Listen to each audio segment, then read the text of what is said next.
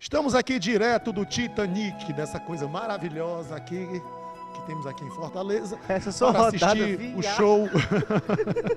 Eles- Colega. Tá. Para vir falar com ela que é estourada na internet, ela é estourada.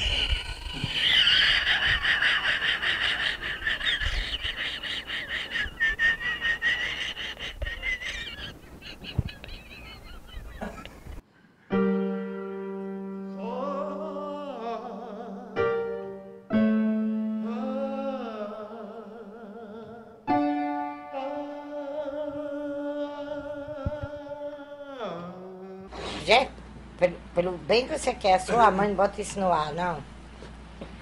Isso é uma vergonha.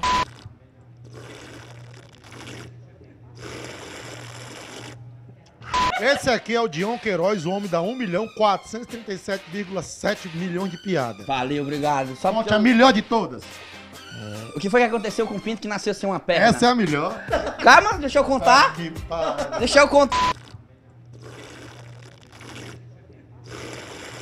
Por que, que você vai fazer show fantasiado de marginal? Olha aqui, ó, presta atenção. Por que, que você faz show fantasiado de marginal? Isso é marketing, isso é marketing. Marginal do humor. Isso é marketing, eu vendo DVD, eu digo assim, ei, ó, DVD pra vender. É melhor vocês compadre que eu roubar vocês. Ó, isso é marketing, cara. Meu Deus. É uma dúvida que eu tenho. Por que é que desde quando eu te conheço na televisão, tu nunca pintou esse teu cabelo? É, é, Ele é mal, ele é mal de pente. Ele é mal do pente. Eu coloco o pente e o pente sai dele. Eu tenho uma senhora lá em casa, uma véia também, de 73 anos. O que é que eu faço pra ganhar dinheiro com ela, hein? Que nem que tá fazendo com a tua. Eu já tentei, já tô botando ela no sol de a gala. tentando com a Que conversa é essa? Vocês estão podres de rico. A gente tá podre, né? Podre. Interessante que o camarim dos artistas geralmente tem uma fruta, um café. Cadê as coisas? Isso aqui é teu, Dion? Da dona hein? Vem no saco desse. Olha aí. Macho, pelo amor de Deus. Deixa eu dar um selinho.